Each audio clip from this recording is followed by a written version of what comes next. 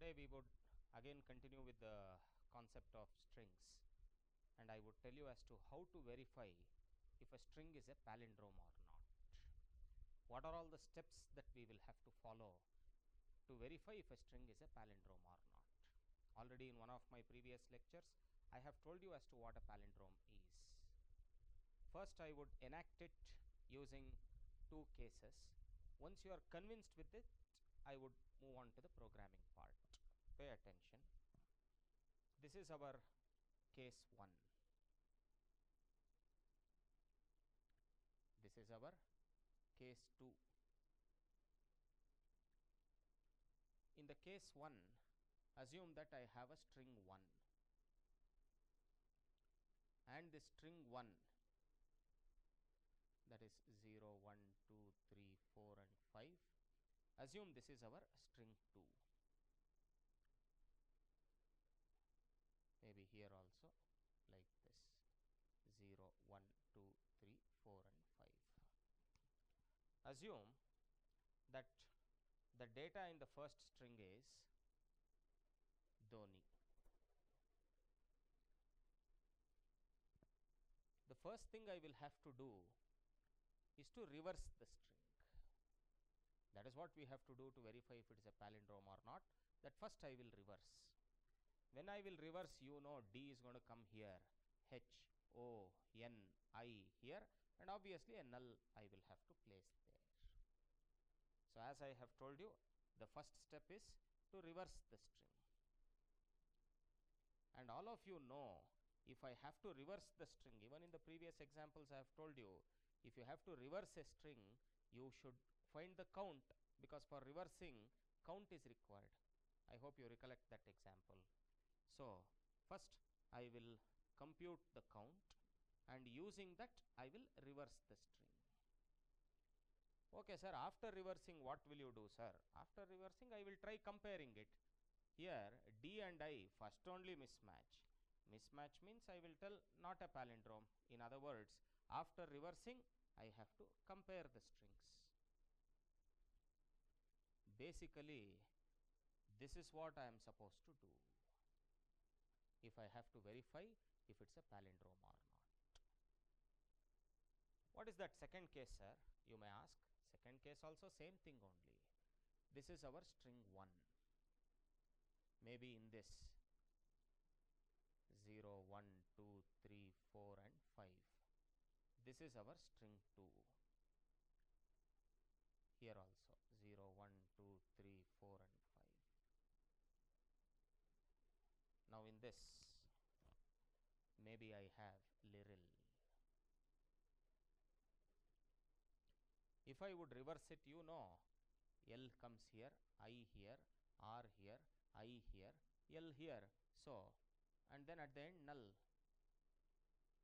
Same thing only I have done. I have reversed the string only. And obviously for reversing we require the count value. So, I would have computed the count. After that I have to compare the strings. Okay, I will compare it. Comparison logic also you know L and L matches, I and I matches, R and R matches, I and I matches, L and L matches after which you are hitting the dead end. I have told you whenever you hit the dead end you come out of that loop tell that you know the strings are equal that is what previously you were telling in one of the programs. Now I will come out of the loop when I hit the dead end and I won't tell strings are equal rather I would tell that it is a palindrome because certainly the string is a palindrome. So basically what I want you to understand through this example is that if you want to verify if the string is palindrome these are the three activities that we will have to perform. First I will have to find the count using the count I should reverse it and after reversal I should compare the two strings. That is what I am supposed to do. I hope all of you would agree with it. Not only that each of these activities I have already taught you. It is not that I will have to teach you something from scratch in this. Long back I have taught you how to find the count. I have also taught you how to reverse the string. In one of my in a previous example itself I have taught you how to compare the strings. So, to that extent I think this program is a combination of some of the previous programs. Please be quick, copy it as it is.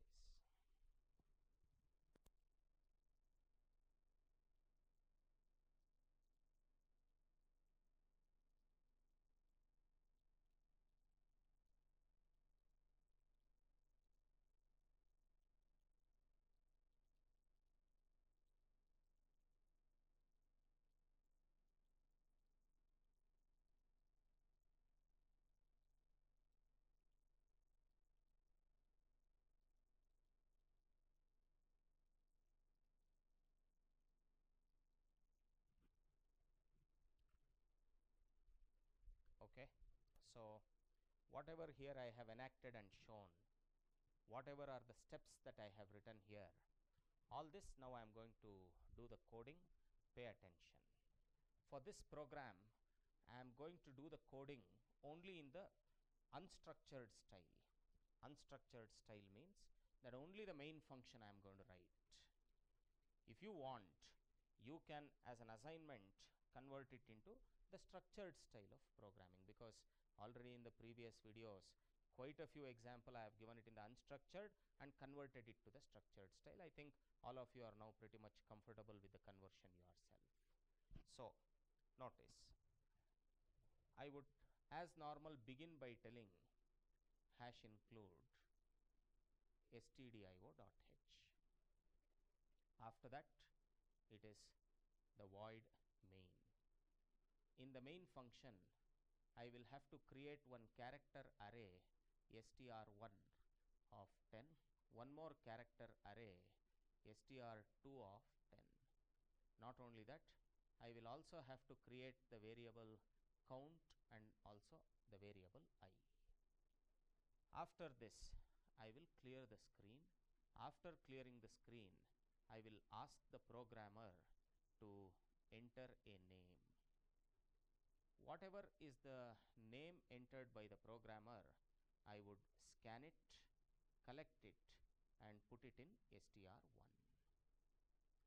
Now my duty is to verify whether this name is a palindrome or not.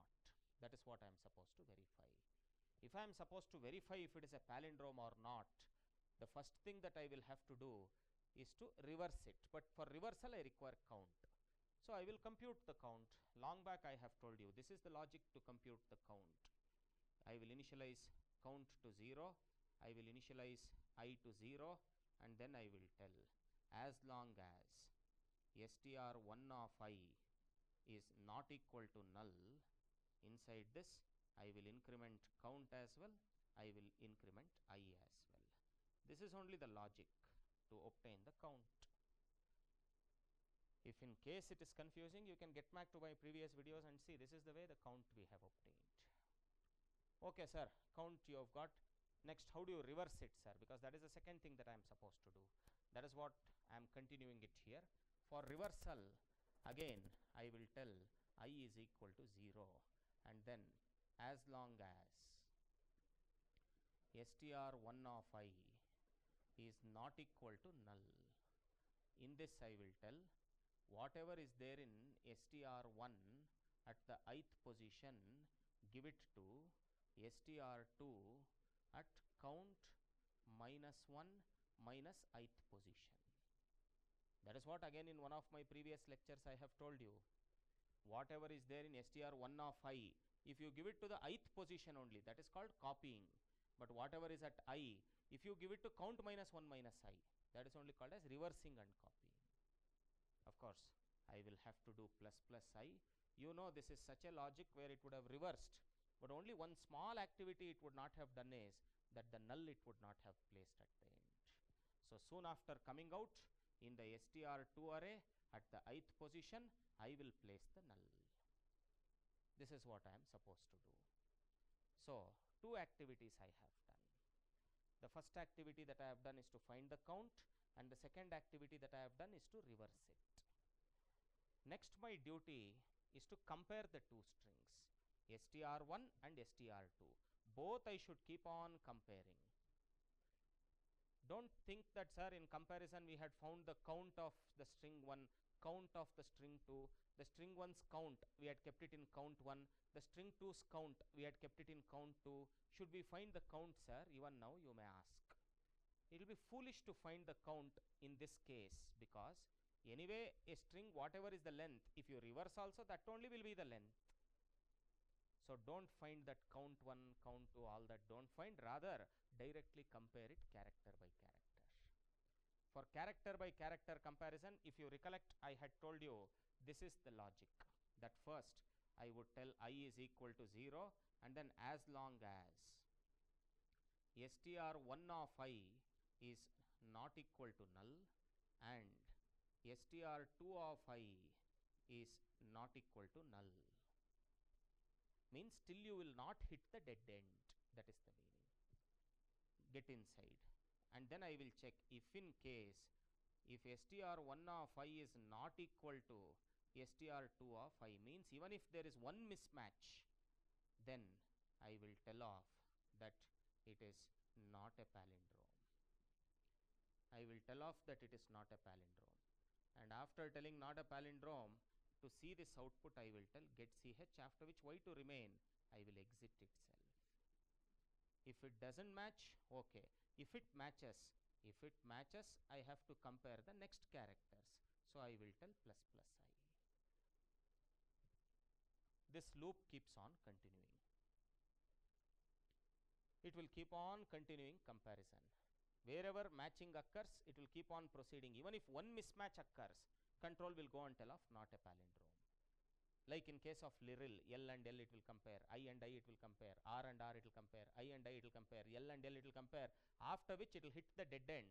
When it hits the dead end control comes out. And hence i will tell printf palindrome here. I will tell palindrome after which no space so maybe I will continue here. I will tell here at the end get ch and then that is the beginning of the main function. This is the ending of the main function. So if you ask me that sir what is this part of the code doing? All of you know it is computing count. It is computing count. Why do you require count sir? Why you require count is you have used here. That's why oh correct sir. What is this part doing sir if you will ask? This part is reversing. Oh okay sir. What is this part doing sir you may ask? This part is comparing the two strings character by character. That is comparing the two strings character by character. It is comparing. I again repeat in one of my previous examples while comparing I told you find the length of the first string find the length of the second string. Like I gave you one example find the length of Sachin 6 find the length of Dhoni 5 oh 6 and 5 mismatch. So they are unequal. There we had done it like that. But here no need to find the length of str1 length of str2 not required because after all str1 only you have reversed and put it in str2 so obviously lengths will be same no need to again find count 1 count 2 all that it is not required. Directly character by character comparison is what you should be doing. This part of the logic is the same. Previously I think in the last example here I used to tell not a uh, I mean strings are unequal. Here instead uh, instead of that I am telling not a palindrome. Here I used to tell strings are equal. Instead I am telling palindrome. Actually if you will compare it with the previous example it would become even more clear I hope all of you have been able to understand. In fact I would execute it and demonstrate for your reference. Notice.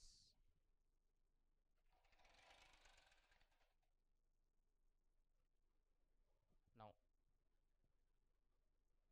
in this uh, case there are 0 errors and 0 warnings. Now when I would compile it enter a name I will enter the name as say Sachin obviously it's not a palindrome. That is what I have got and then if in case I would enter it as a liril certainly I would get the output as palindrome. I hope all of you have been able to understand. You can try it out on various inputs. That should not be an issue. Please quickly copy whatever I have told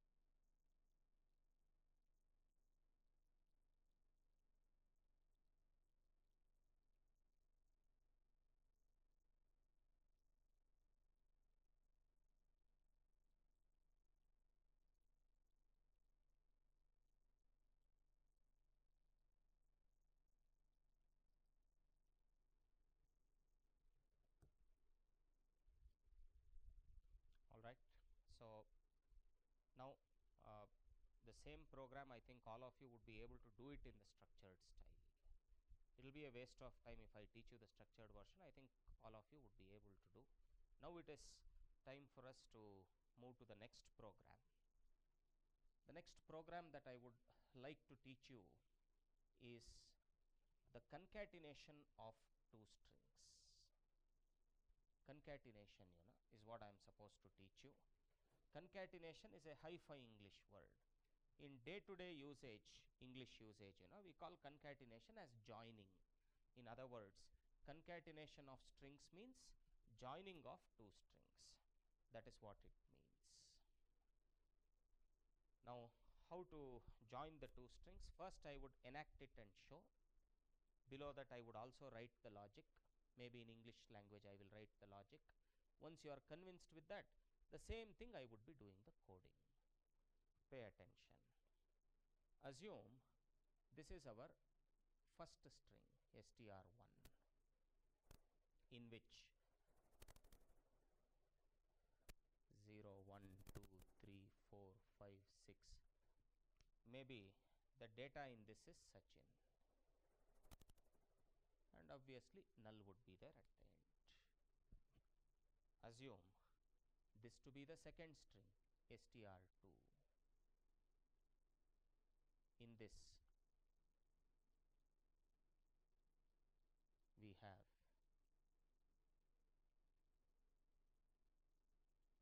maybe Tendulkar obviously a null would be there at the end my intention is to join them and make it as Sachin Tendulkar. That is what is my intention. If that is your intention, then you should have str3 like this. You should be having str3.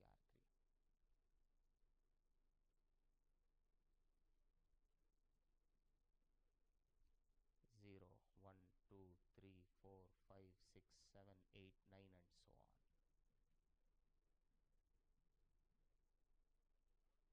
Okay, sir. How do we proceed? Notice, like this I will proceed. I will initialize i to 0. I will use the index variable i with respect to str1. Similarly, I will initialize j to 0. I will use the index variable j with respect to str2.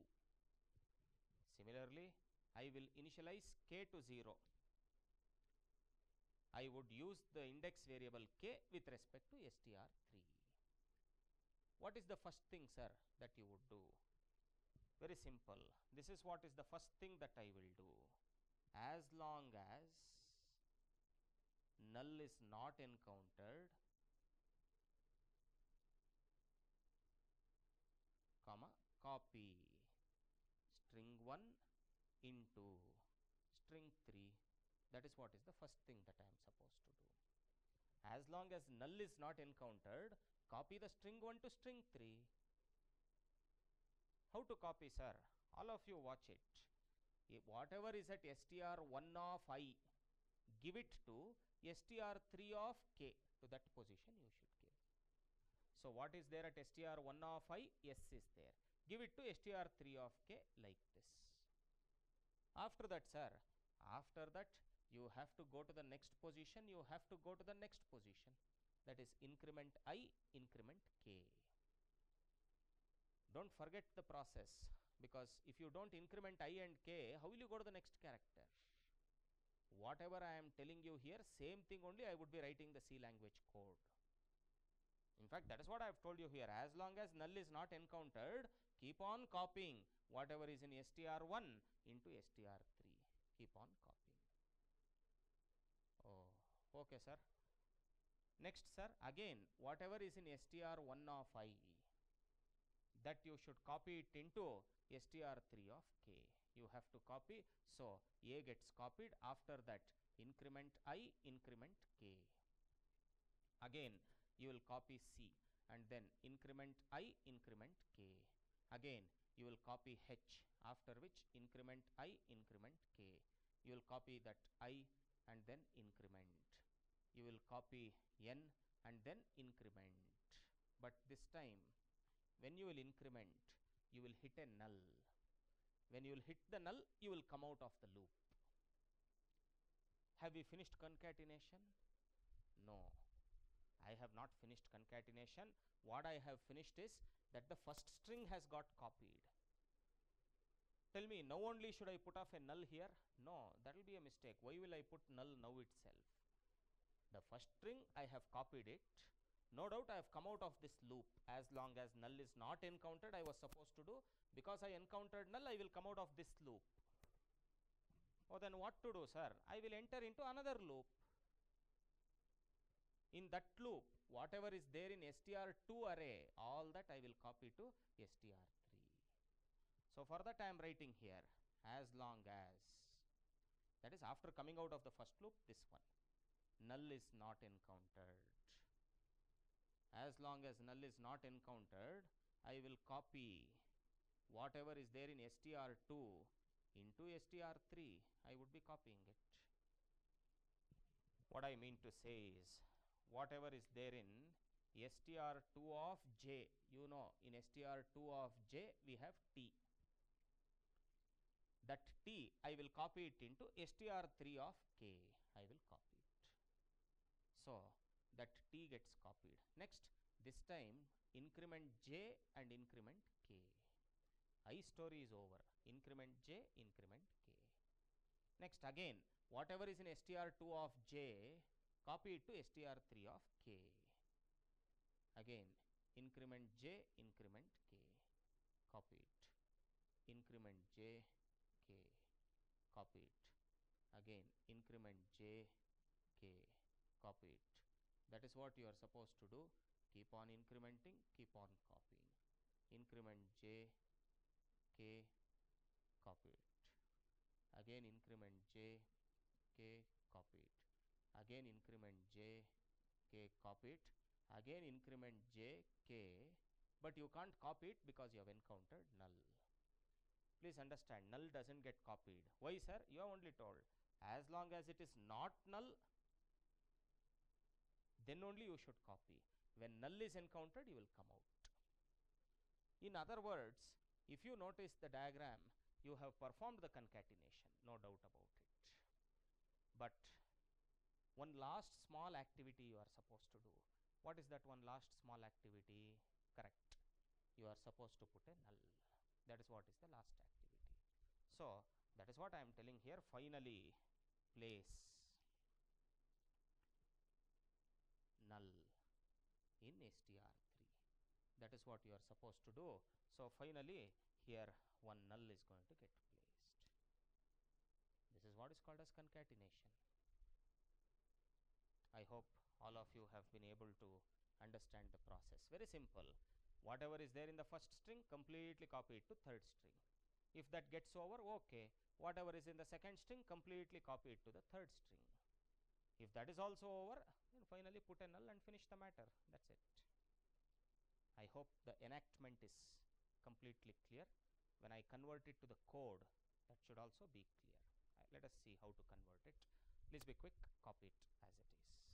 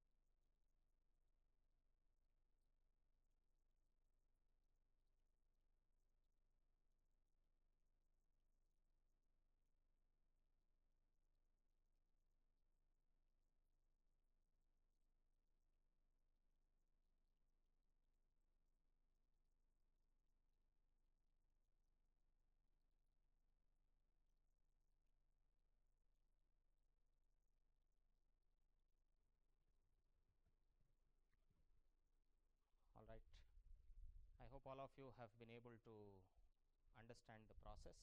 Now, whatever I have enacted, I would convert it into C language code. Pay attention. Quite simple it is because you have already been writing strings programs for so long that understanding this program should not be a difficulty. Pay attention. First, I would begin by telling hash include stdio.h. After that, it is void main. In the main function, I would create one character array str1 of 10, another character array str2 also of 10 capacity. Maybe I will create one character array str3 of 20 capacity. You know str3 should be a longer array because it has to include both str1 as well as str2. That is why I have created str1 of 10 size, str2 of 10 size, but str3 of 20 size I have created. Along with this, I would require the variables i, j, k. Why I require the variables i, j, k? You already know that I am going to use i with respect to str1, j with respect to str2, k with respect to str3. That is the reason why I require it. After that, I will clear the screen. After clearing the screen, I will ask the programmer, programmer, enter the first string. I would ask him. Whatever is the first string that the fellow enters, I will scan it and put it inside str1. Again, I will ask the programmer, programmer, enter the second string. I would ask him to enter the second string. And whatever is the second string, that also I will scan it and put it inside str2. So, all the inputs that I was supposed to take, I have taken. The first string I have taken, maybe Sachin. Second string I have taken, maybe Tendulkar. Okay, sir. Next, what, sir? You may ask. Next, all of you know i, j, k. What is the initial value of i, j, k in the diagram? If you notice, i was also 0, j was also 0, k was also 0. That is what I am doing now. That is, I will initialize i to 0, I will initialize j to 0, I will initialize k to 0. Oh, okay, sir. Next, what you may ask? Next, my duty is to copy the first string into the third string. How long will you keep on copying? As long as it is not null, I will keep on copying. I think all of you agree. That is what I am telling here. As long as whatever is there in str1 of i, if it is not equal to null, you should keep on copying. How to copy, sir? Simple. Whatever is there in str1 at the ith position, give it to str2 of J, str3 you should give of k. This is what is called as copying. If you look at the enactment, you would only realize whatever is there in str1 at the ith position, I have given it to str3 at the kth position. After that, sir, after that you should proceed. Otherwise, how will the next character get copied? Oh, how to proceed, sir? You know, I have to increment i, I have to increment k. This loop will keep on looping, looping, looping. All the characters in the first array will get copied into the third array. Finally, when null is encountered, control comes out. Because control came out, I will not stop off because I have only copied the first array into the third array. Now my duty is to copy the second array. To copy the second array, one more loop I will write. As long as you know the second array str2 the index that I am using for str2 is j index. You know that.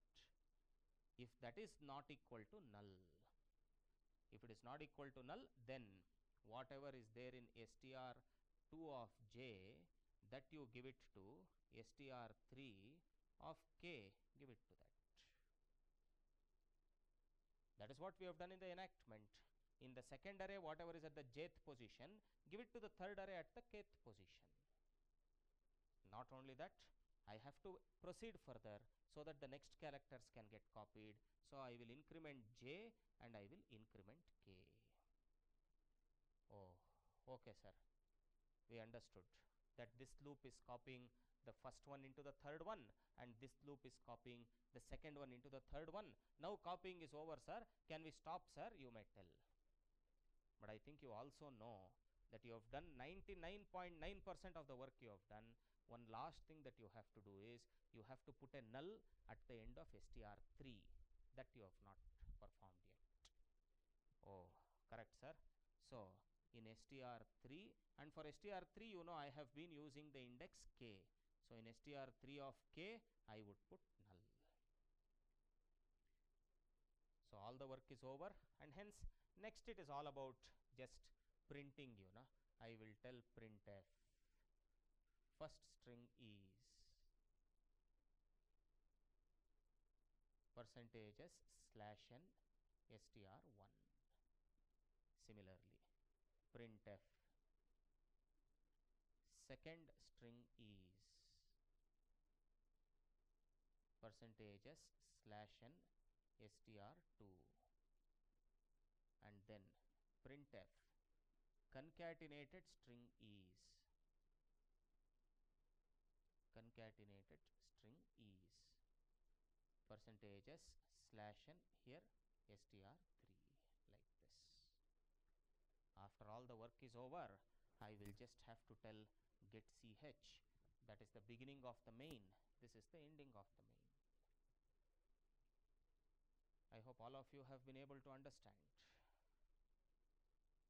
Let us see if the program is going to execute or not.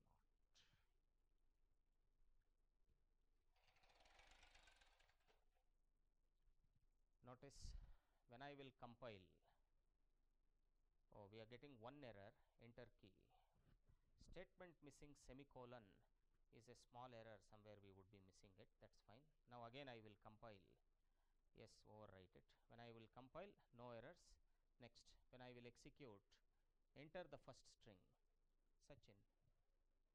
Similarly enter the second string Tendulkar. And then when I will press the enter key first string Sachin second string Tendulkar. Concatenated string is Sachin Tendulkar. This is what we were expecting through this. I hope how to concatenate also has become completely clear anyway you can be copying this as it is. You know if I really have to write the comments for this you know what this part of the code is doing is copying first string to third string. What is this part of the code doing sir? If you will ask me copying second string to third string that is what it is copying. What is this doing sir if you will ask me? Placing null in third string. That is what it is doing. I hope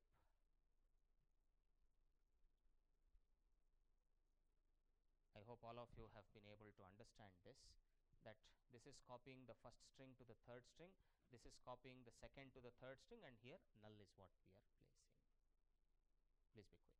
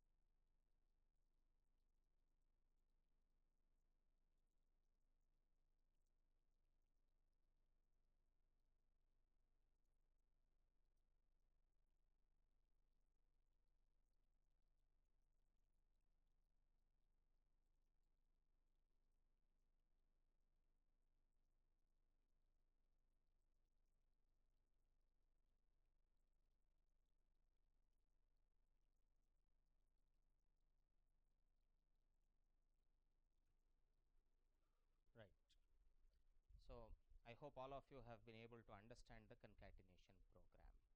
But I know there would be a few students who would be thinking that sir concatenation program is fine. We have been able to understand. But what we expect is sir after Sachin and you know there should be a blank and then if Tendulkar comes it will be good sir. In your output Sachin Tendulkar is coming as it is. I want Sachin and then a blank and then Tendulkar sir. What I mean to say is if I'll again execute the program and demonstrate it for you notice it. When I will execute the program for the first time it will ask me first string I will tell Sachin second string I will tell Dhoni uh, sorry uh, Tendulkar. Now when I execute the concatenated string is Sachin Tendulkar. I wanted a space between the two that is what some of you may be expecting. A space between Sachin and Tendulkar. How to make it happen sir if you will ask? Notice I can be making it happen like this. First of all the first string I will copy it into the third string. After copying the first one into the third one immediately the second one I should not copy. After copying the first one next I will tell that in str3 and you know for str3 the index that we use is k there I will place a blank character I would place a blank character. Blank means you should put open quote, one space bar and then close. That is what it means. Okay sir, if I put this much is it sufficient sir you may tell. No, that will be a mistake. You put the blank character. Now your duty is to increment k. If you will not increment k, then the next string you know that is Tendulkar is going to go and sit above the blank character which you should not permit it to happen. So put a blank in the third array and then increment of k so that Tendulkar sits from the next location onwards. If you will forget to increment k, then blank you would have kept. Above that only Tendulkar also will sit off. So your blank would get overwritten. Be careful. You should put a blank and also increment k so that from the next location onwards, Tendulkar would be getting placed. Oh. Okay, sir. Would it work, sir? You may ask. Notice it. Whether it works or not. If you go down, that change I have done here, that in str3 of k, one blank has been placed, after which I have incremented k. Now, if I would compile it, no issues. When I will execute it, you can notice that the first string is Sachin, the second string Tendulkar, and hence when I will execute, as per our expectations Sachin blank. Then you had incremented k. So from that position Tendulkar has got placed. This was one concern which probably a few of you had which I have addressed. I hope it is completely clear maybe that one small change you can be copying it. If you feel like copying you can just quickly copy that one small change